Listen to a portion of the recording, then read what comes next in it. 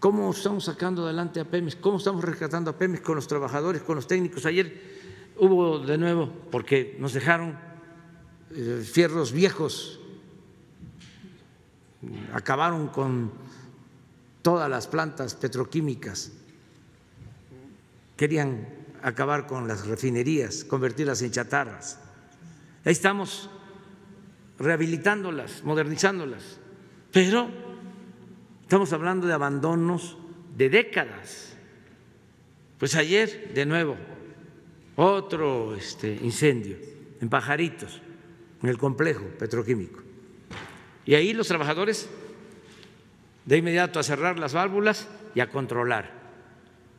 Y afortunadamente no se tuvieron desgracias. Los trabajadores. Eh, viene la nevada en Texas, padecen muchísimo allá, eh, hasta situaciones inhumanas, porque tuvieron que padecer fríos, sin luz, sin calefacción, pero muchos días en Texas. En cinco días aquí